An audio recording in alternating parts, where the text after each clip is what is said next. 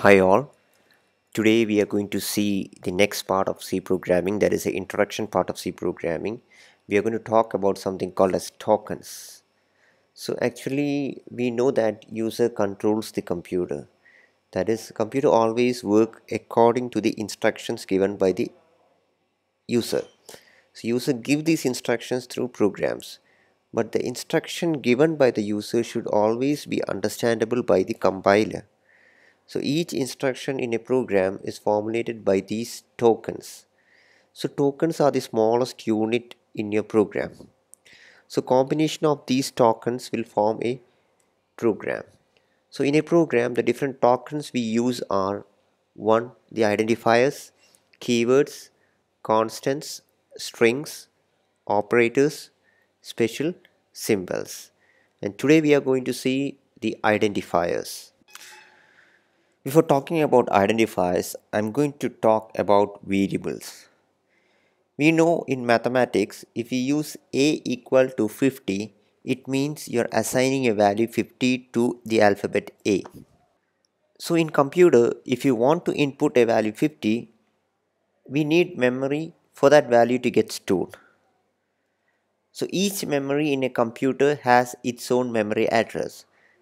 It's like our house address in every house we have unique addresses. Like that in computer each and every memory has its own unique addresses and that address will be in the hexadecimal format.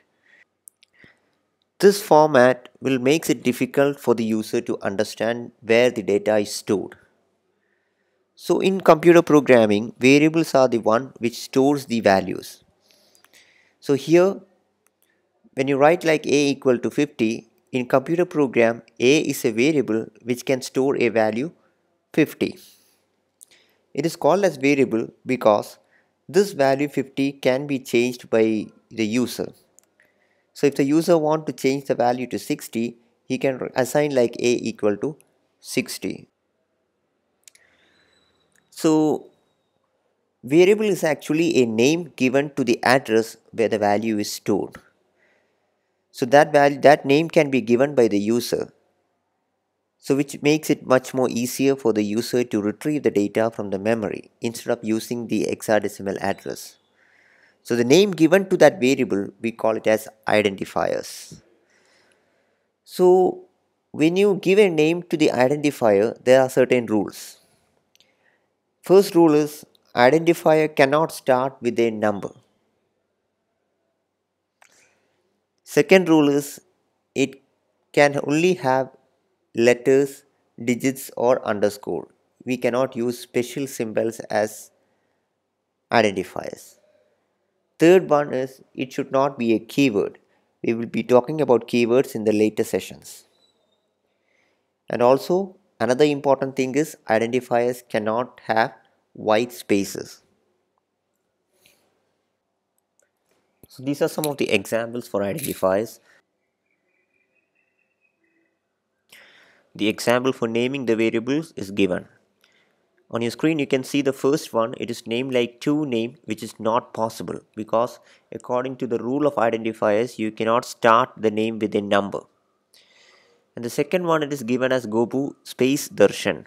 So in the rule it says like you cannot have white spaces between names. So that is also not possible. The third one is you have given as dollar gobu. Dollar is a special symbol so you cannot give an identifier name like that. But the last three are the correct one. That is name 2 can be given. Gobu underscore darshan can be used. Number 1 also can be used. So these are the three one which follows the rules of the identifier. So that's all about identifiers. In the next lecture we'll be seeing how we can allocate memory for these names because we are giving the variable name for the memory addresses. So how that memory allocation happens. That will be taken in the next lecture. Thank you.